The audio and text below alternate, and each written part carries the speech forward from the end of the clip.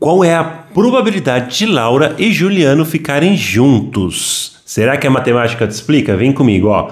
Letra L. L tem uma, duas letras L, somente duas letras L. Vou colocar o 2 aqui. Letra A tem uma, duas, três letras As.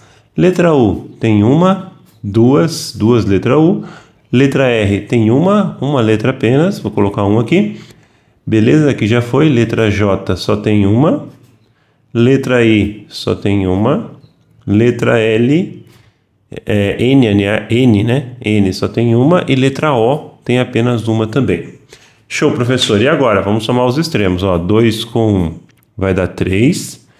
3 com 1 vai dar 4. 2 com 1 vai dar 3. E 1 com 1 vai dar 2. Olha essa daqui, ó. 3 com 2 vai dar 5.